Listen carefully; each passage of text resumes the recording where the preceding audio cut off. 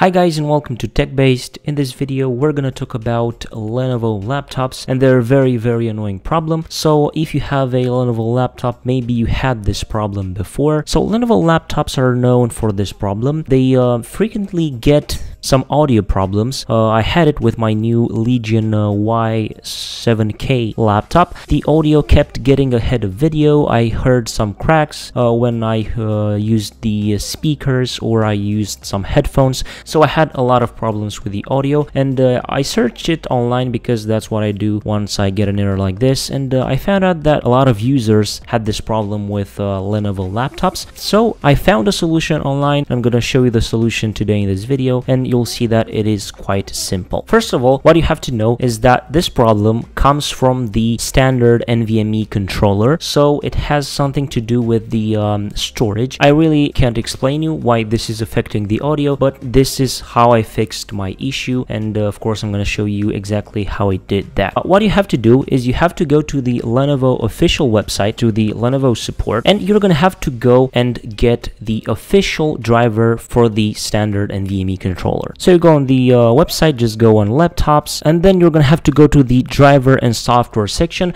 Of course, I'm gonna leave you a link down below in the description, so don't worry about that. So then just go and click on get downloads. I'm gonna search that. I'm gonna put in here my laptop, so it's a Legion uh, Y7K laptop. I'm going I'm just gonna search it. After you enter the right type of Lenovo laptop that you have, you're gonna get to this page. On this page, drivers and software, just go to manual update and then go and search for storage. And here you're gonna have the Intel Rapid Storage Technology driver for Windows 10. This is what you're looking for. Just click on it and then click on download. I'm not gonna do that right now because I already did it, but you have to download it, install it. It's a very, very simple install. Just next, next, and finish. And after you install this driver, you're just gonna have to go on this PC, local disk C or where you have your Windows operating installed. You'll see that you have here a new folder, which is called drivers. In this driver folder, if you enter in, you're gonna see this Intel IRST driver folder. It's very important to know that. So in the drivers folder, you have the new driver installed. This is a very, very uh, quick thing to note. After that, right click on this PC, click on manage, manage, then go to device manager and here on device manager go to storage controllers, expand it and here you're gonna have two options. You're gonna have standard NVMe controller and Microsoft Storage Spaces controller. You see that in my case it is different because I already did the modifications needed for the problem to be fixed but instead of this Intel chipset SATA stuff like that you're gonna have the standard NVMe Express controller. Locate that and right click on it and then click on update driver. Remember you right click click on standard NVMe controller and then update driver. After that, this window will appear. Just go and click on browse my computer for driver software and then go and click on browse. And of course, you're going to have to go to the drivers location that I've showed you a few seconds before in the partition where the Windows is installed, drivers, and then go and locate the Intel IRST driver, expand it, and just go and click on the source folder and click on OK. And then this will update in this location. Click on next, next, and finish